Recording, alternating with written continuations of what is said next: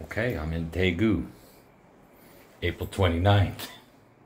I last minute decided that I would spend a couple days here in the first city I lived in in Korea. And I got a cheap hotel. this is awesome. Okay. Look at my nice little mural.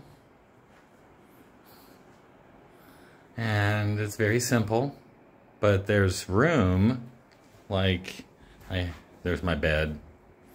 I have no place to hang my clothes or store my clothes but I have plenty of room.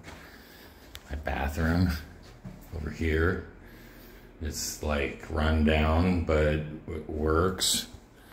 And like most Korean hotels there's a little beauty space. Hello everyone but I noticed that not only do I have a toothbrush and razor, and this is foaming cleanser, but you're right.